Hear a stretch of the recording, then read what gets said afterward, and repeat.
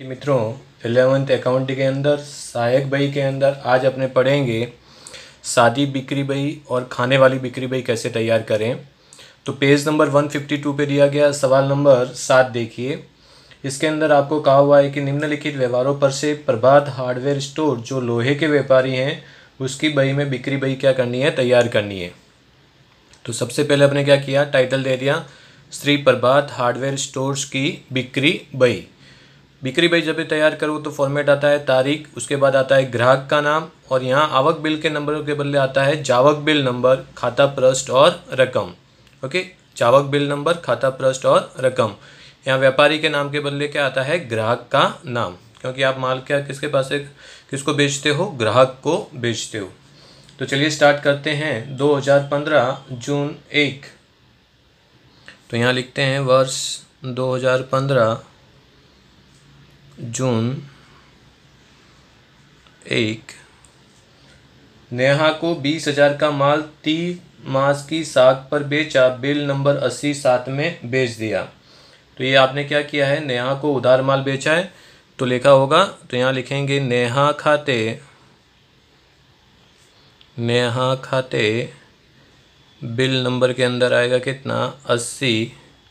अब यहाँ पर कितने का माल बेचा है? बीस हज़ार का। तो रकम में लिखेंगे अपने कितना? बीस हज़ार।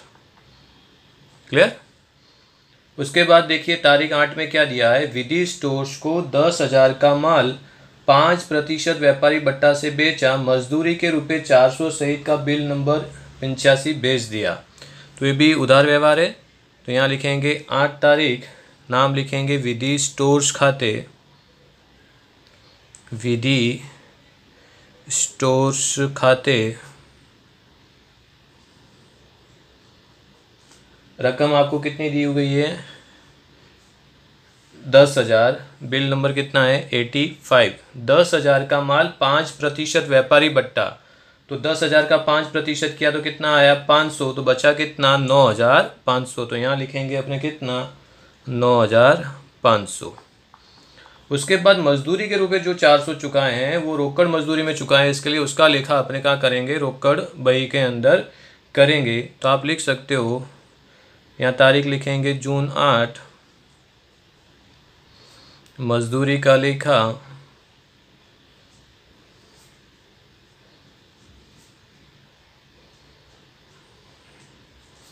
रोकड़ में चुकाने से अपने कहाँ करेंगे? रोकड़ बही में करेंगे। कहाँ लिखेंगे उसको? रोकड़ बही के अंदर अपने लेखा करेंगे। रोकड़ खाते क्या करेंगे? जमा करेंगे। क्लियर उसके बाद देखिए नेक्स्ट तारीख में आपको क्या लिखा है? तारीख बारह में रुपए पंद्रह हज़ार के माल का क्या किया, विक्रय किया। अभी देखिए, यहाँ पर नाम नहीं दिया हुआ नाम नहीं दिया तो व्यवहार कैसा हो गया, नकद हो गया, और नकद बिक्री का लेखा अपने बिक्री बही में करते नहीं है। तो यहाँ तारीख लिखनी पड़ेगी बारह, यहाँ लिखना पड़ेगा क्या? कि नकद व्यवहार है। जिन व्यवहारों का लेखा नहीं होता, उन व्यवहारों का स्पष्टीकरण आपको नीचे करना पड़ेगा कि किस कारण से आपने इस व्यवहार को नहीं लिखा। उसके बाद तारीख पंद्रह में दिया है, दस हज़ार का यंत्र त्रिमा को तीन हज़ार में बेच दिया। अब यहाँ पर यंत्र बेचा है तो यंत्र क्या है? संपत्ति है। तो संपत्ति के व्यवहारों का लेखा, संपत्ति की खरीदी बिक्री का लेखा भी खरीद बही और बिक्री बही में किया जाता नहीं है तो यहाँ लिखेंगे अपने संपत्ति का व्यवहार है। ओके नकद गैर आर्थिक और संपत्ति के व्यवहारों का लेखा यहाँ करते नहीं है। संपत्ति का व्यवहार है। नेक्स्ट तारीख पंद्रह, तेईस के अंदर क्या दिया है? सिमोली को पंद्रह हज़ार का माल दस प्रतिशत व्यापारी बट्टा से बेचा। सिमोली ने पचास प्रतिशत रकम तुरंत चुका दी। अब यहाँ देखिए, इस व्यवहार के अंदर आपको 50 परसेंट रकम तुरंत चुकाई, यानी पूरी पूरी रकम मिली नहीं है। यदि किसी व्यवहार के अंदर पूरी पूरी रकम मिली हो तो ही व्यवहार कैसा गिनाएगा, नकद गिनाएगा, अन्यथा उस व्यवहार को उधार गिनकर उसका लेखा किया जाएगा। तो यहाँ तारीख लिखते हैं कितना? तेईस। नाम लिखेंगे सिमोली खाते। सिमोली खाते। बिल नंबर यहाँ पर आपको दिया है कितना? नाइन्टी अब कितने का माल है? पंद्रह हज़ार का। कितना प्रतिशत व्यापारी बट्टा है? दस प्रतिशत। तो पंद्रह हज़ार का दस प्रतिशत व्यापारी बट्टा माइनस किया तो ये आया तेरह हज़ार पाँच सौ। ध्यान रखो, हमेशा व्यापारी बट्टा घटाने के बाद की रकम का अपने लेखा करेंगे। उसके बाद तारीख अट्ठाईस में देखो क्या दिया हुआ है। रिद्धि को बीस हज़ार का माल विक्रय दस प्रतिशत रोकड़ बट्टा से नकद से किया। तो यहाँ स्पष्ट कहा गया है कि जो बिक्री है वो कैसी है? नकद बिक्री है। तो नकद व्यवहार का लेखा अपने करते नहीं है तो यहाँ लिखेंगे नकद व्यवहार है। तारीख डालेंगे अट्ठाईस, लिखेंगे नकद व्यवहार है। क्लियर? तारीख उनतीस में देखिए, मीत के पास से पंद्रह हज़ार का माल भेजने का आदेश दिया। अभी आदेश दिया तो व्यवहार कैसा हो गया? गैर आर्थिक व्यवहार हो गया। तो गैर आर्थिक व्यवहारों का भी लेखा अपने करते नहीं है तो तारीख डालेंगे उनतीस, लिखेंगे गैर आर्थिक या बिन आर्थिक व्यवहार है। ऑर्डर दिया, ऑर्डर मिला तो व्यवहार कैसा हो गया? गैर आर्थिक हो गया।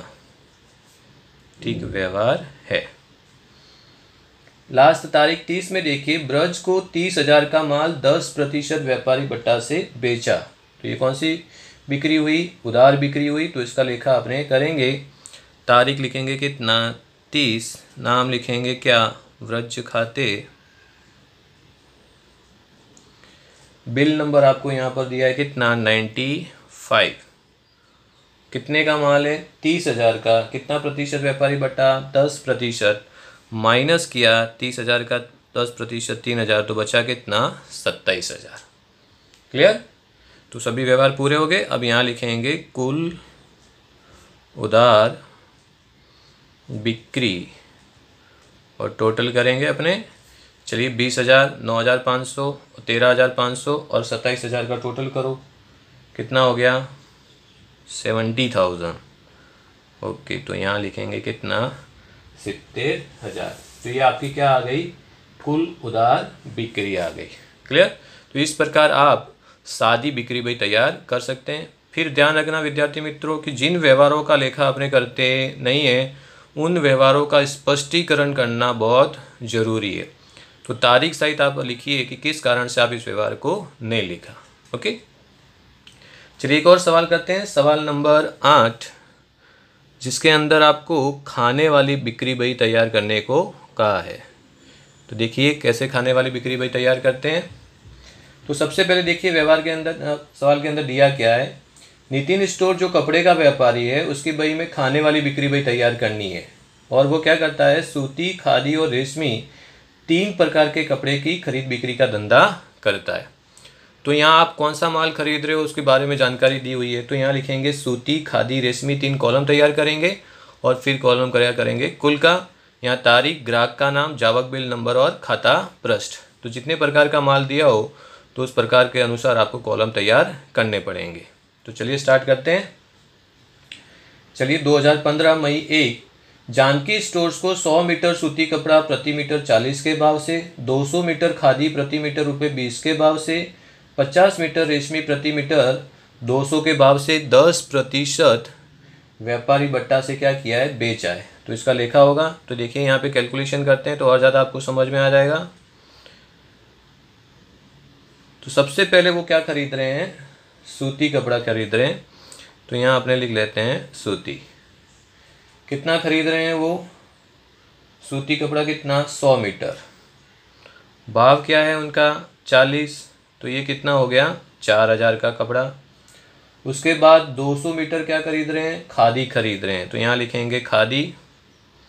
कितना मीटर खरीद रहे हैं? दो सौ। और उसका भाव कितना है? बीस रुपये तो ये भी कितना हो गया? दो सौ गुणे बीस, चार हज़ार। उसके बाद वो क्या खरीद रहे हैं? रेशम खरीद रहे हैं। तो यहाँ लिखेंगे रेशम।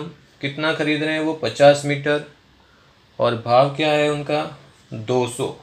तो पचास गुणे कितना करेंगे अपने यहाँ पर? दो सौ करेंगे। तो ये कितना हो गया? दस हज़ार। कितना हो गया? दस हज़ार। अब यहाँ पर देखिए, दस प्रतिशत व्यापारी बट्टा कहा हुआ है। तो प्रत्येक में से दस प्रतिशत व्यापारी बट्टा अपने क्या करेंगे? घटाएँगे। तो चार हज़ार का दस प्रतिशत किया तो कितना हो गया? चार सौ। तो बचा कितना? छत्तीस सौ। ये भी चार हज़ार है, चार हज़ार का दस प्रतिशत चार सौ तो बचा कितना? छत्तीस सौ। यहाँ दस हज़ार है, दस हज़ार का दस प्रतिशत एक हज़ार।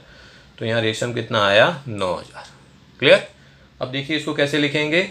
तो यहाँ साल लिख लेते हैं, दो हज़ार पंद्रह। मई एक। नाम दिया है जानकी स्टोर्स खाते। तो यहाँ लिखेंगे जानकी स्टोर्स खाते।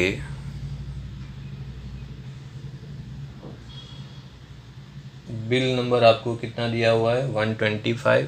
तो बिल नंबर में लिख लिया एक सौ पच्चीस। खाता प्रश्न में डैश। अब सूती कपड़ा कितना खरीदा है उन्होंने? छत्तीस सौ। व्यापारी बट्टा घटाने के बाद की रकम। खादी कितनी है? छत्तीस सौ। रेशम कितने का है? नौ हज़ार का। क्लियर? अब तीनों का टोटल करके अपने क्या करेंगे? कुल के अंदर रखेंगे। तो छत्तीस सौ छत्तीस सौ बहत्तर और ये नौ नौ, सात, सोलह। सोलह हज़ार दो सौ। ओके? टोटल उन्होंने कितने की खरीदी की? सोलह हज़ार दो सौ की।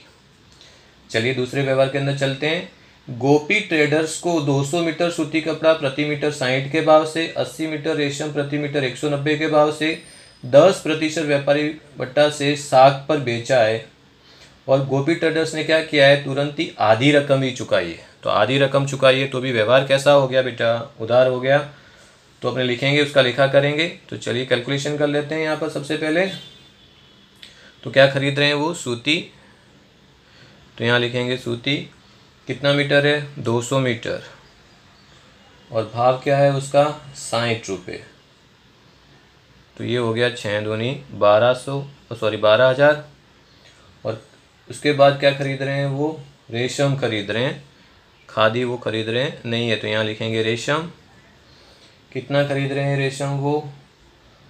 रेशम खरीद रहे हैं अस्सी मीटर एक सौ नब्बे के भाव से। अस्सी मीटर खरीद रहे हैं कितना? एक सौ नब्बे के भाव से तो ज़ीरो बहत्तर आठ सात पंद्रह पंद्रह हज़ार दो सौ का माल खरीद रहे हैं, ओके? और कितना प्रतिशत व्यापारी बट्टा है बेटा? दस प्रतिशत। तो दस प्रतिशत माइनस करेंगे अपने तो बारह हज़ार का दस प्रतिशत बारह सौ तो ये बचा दस हज़ार आठ सौ, पंद्रह हज़ार दो सौ का दस प्रतिशत कितना हुआ? पंद्रह सौ बीस। माइनस करोगे तो कितना आएगा? तेरह हज़ार छः सौ अस्सी। ओके राइट तो यहाँ लिखेंगे नाम, तारीख कितनी दी हुई है? आठ। वेब ग्राहक का नाम लिखेंगे क्या? गोपी ट्रेडर्स खाते। गोपी ट्रेडर्स खाते। बिल नंबर कितना है यहाँ पर दिया हुआ है आपको? वन ट्वेंटी सिक्स एक सौ छब्बीस। अब यहाँ सूती कितने की खरीद रहे हैं वो? दस हज़ार आठ सौ का। खादी नहीं खरीद रहे तो खादी में डैश। रेशम कितने की खरीद रहे हैं वो? तेरह हज़ार छः सौ अस्सी। अब दोनों को प्लस कर दो, दस हज़ार आठ सौ, तेरह हज़ार छः सौ अस्सी। तो ये कितना हो गया? यस, चौबीस हज़ार चार सौ अस्सी। ओके? चलिए नेक्स्ट चलते हैं। पंद्रह तारीख में निसर्ग ट्रेडिंग कंपनी को सौ मीटर खादी, पचास मीटर रेशम, क्रमशः चालीस और दो सौ के भाव से क्या किए? बेचे हैं। निसर ट्रेडिंग कंपनी ने 10 प्रतिशत व्यापारी बट्टा और 10 प्रतिशत रोकड़ बट्टा से रकम तुरंत ही चेक से चुका दी। तो व्यवहार कैसा हो गया बेटा? नकद हो गया। तो नकद व्यवहार का तो अपने लेखा करते नहीं है। तो यहाँ लिखेंगे तारीख, स्पष्टीकरण करना पड़ेगा। मई पंद्रह, लिखेंगे व्यवहार कैसा है? नकद है। तो नकद व्यवहार है। ओके, इस प्रकार का स्पष्टीकरण आपको नीचे कर लेना है। चलिए तारीख बीस में देखते हैं। प्रीति स्टोर्स ने चालीस चालीस मीटर खादी, साठ मीटर सूती कपड़ा और सौ मीटर रेशम कपड़ा भेजने का आदेश दिया। तो आदेश भी कैसा व्यवहार हो गया? गैर आर्थिक। तो तारीख बीस, यहाँ लिखेंगे क्या? गैर आर्थिक व्यवहार है। गैर आर्थिक व्यवहार है। Okay, right? चलिए नेक्स्ट तारीख में चलते हैं। बाईस तारीख में प्रीति स्टोर्स को बिल नंबर 128 अंतर्गत आदेश अनुसार माल क्रमशः 30 प्रति मीटर 50 प्रति मीटर और 220 प्रति मीटर के भाव से 10 प्रतिशत व्यापारी बट्टा से बेच दिया। अब माल उन्होंने क्या किया? आदेश के अनुसार बेच दिया तो उसका लेखा करेंगे अपने। तो चलिए कैलकुलेशन करते हैं। सबसे पहले खादी खादी कितनी है? चालीस मीटर राइट right? क्या भाव दिया है उसका? खादी का भाव दिया हुआ है कितना? तीस। तो चालीस गुणे तीस तो ये हो गया कितना? बारह सौ। फिर क्या खरीद रहे हैं? ऊपर से देखना है आपको, आगे वाली तारीख से। सूती। सूती कितना खरीद रहे हैं वो? साठ मीटर सूती कपड़ा। भाव क्या है सूती का? पचास। तो ये हो गया आपका तीन हज़ार। उसके बाद क्या खरीद रहे हैं? रेशम। तो रेशम कितना खरीद रहे हैं बेटा वो? सौ मीटर। और क्या भाव है रेशम का उनका? दो सौ बीस। दो सौ बीस तो ये हो गया आपका बाईस हज़ार। ओके? और कितना प्रतिशत व्यापारी बटा है? दस प्रतिशत। तो सब में से दस प्रतिशत माइनस कर देंगे तो इसका एक सौ बीस यह आया एक हज़ार अस्सी। तीन हज़ार का दस प्रतिशत तीन सौ। बचा कितना? सत्ताईस सौ। बाईस हज़ार का दस प्रतिशत कितना हो गया? बाईस सौ। तो बाईस हज़ार में से बाईस सौ घटा दिया। तो कितना बचा? उन्नीस हज़ार आठ सौ। ओके? चलिए इसका लेखा कर देते हैं। तो तारीख कितनी लिखेंगे? बाईस। नाम क्या लिखेंगे? क्या नाम है? प्रीति स्टोर्स खाते। तो यहाँ लिखेंगे, प्रीति स्टोर्स खाते। बिल नंबर कितना दिया है आपको? एक सौ अट्ठाईस। अब यहाँ देखिए सूती में कितना लिखेंगे? सत्ताईस सौ। खादी में कितना है? एक हज़ार अस्सी। रेशमी कितना है? उन्नीस हज़ार आठ सौ। चलो सबका टोटल कर दो बेटा। कितना हुआ टोटल यस, तेईस हज़ार पाँच सौ अस्सी। हो गया? चलिए नेक्स्ट व्यवहार में चलते हैं। देसाई एंड कंपनी को पंद्रह हज़ार का सूती कपड़ा, दस प्रतिशत व्यापारी बट्टा से बेचा। अब बेचा है तो उधार, बिक्री है ये। तो यहाँ लिखेंगे तारीख छब्बीस। Desai and stores and company and company खाते। बिल नंबर आपको दिया है वन ट्वेंटी नाइन। अब यहाँ उन्होंने सिर्फ़ क्या खरीदा है? सूती कपड़ा खरीदा है, पंद्रह हज़ार का, वो भी दस प्रतिशत व्यापारी बट्टा से। तो दस प्रतिशत माइनस किया तो कितना आया? तेरह हज़ार पाँच सौ। और कुछ खरीदा नहीं है तो डायरेक्ट यहाँ रकम कुल में भी लिख देंगे तेरह हज़ार पाँच सौ। फिर है डी स्टोर्स को बीस हज़ार की खादी, पाँच प्रतिशत व्यापारी बट्टा और अठारह प्रतिशत वशेक जोड़कर बिल नंबर क्या किया? एक सौ तीस बेच दिया। तो यहाँ तारीख डालेंगे कितना? तीस, राइट? तो यहाँ नाम क्या लिखेंगे? डी सी एस स्टोर्स खाते। यहाँ लिखेंगे डी सी एस स्टोर्स खाते। स्टोर्स खाते। बिल नंबर आपको दिया है कितना? एक सौ तीस। अब बीस हज़ार की खादी और पाँच प्रतिशत क्या है? व्यापारी बट्टा तो बीस हज़ार का पाँच प्रतिशत करेंगे तो कितना होगा? एक हज़ार। तो बचा कितना? उन्नीस हज़ार। राइट? तो उन्नीस हज़ार का लेखा आपने यहाँ पर करेंगे। तो क्या खरीदा है उन्होंने? खादी खरीदी। तो खादी में लिखेंगे कितना? उन्नीस हज़ार। खादी में कितना लिखा बेटा? उन्नीस हज़ार का लेखा अपने खादी के अंदर कर दिया। ओके? तो यहाँ पे भी कितना हो गया? उन्नीस हज़ार। अब जो वशेक का हुआ है, वशेक का लेखा अपने यहाँ पर अभी करेंगे।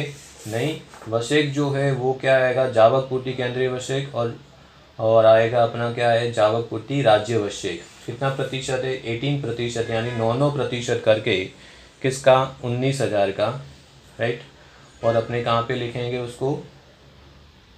रोककर वे रूम को मुख्य रोजनामचा में लिखेंगे। कहाँ लिखा होगा उसका? मुख्य रोजनामचा में लेखा करेंगे। क्लियर तो इतना करने के बाद अब अपने क्या करेंगे? टोटल करेंगे। तो यहाँ लिखेंगे क्या? कुल उधार बिक्री। क्या लिखेंगे? कुल उधार बिक्री। उसके बाद सबका अपने क्या कर देंगे? टोटल कर देंगे। राइट तो जो टोटल आए वो आपको यहाँ पर लिख देना है। क्लियर तो यहाँ खास ध्यान रखना है कि जब भी भी आपको इस प्रकार का सवाल दिया हो तो जो कैलकुलेशन आप कर दीजिए और हमेशा व्यापारी बट्टा प्रत्येक माल वस्तु के अंदर से घटाकर आपको रकम क्या करना है नेट रकम जो है वो आपको कॉलम के अंदर लिखनी है और उसका टोटल जो है वो कुल के अंदर लिखना है। क्लियर और जिन व्यवहारों का लेखा आप नहीं करते, उन व्यवहारों का स्पष्टीकरण आपको नीचे करना पड़ेगा। ओके तो होप हो कि आपको बिक, सारी बिक्री बही और खाने वाली बिक्री बही के ये दोनों सवाल व्यवस्थित समझ में आ चुके होंगे। इससे रिलेटेड उदाहरण भी आपको दिए हैं उसकी प्रैक्टिस करें राइट तो थैंक यू वेरी मच जय हिंद जय भारत। स्वस्थ रहिए मस्त रहिए।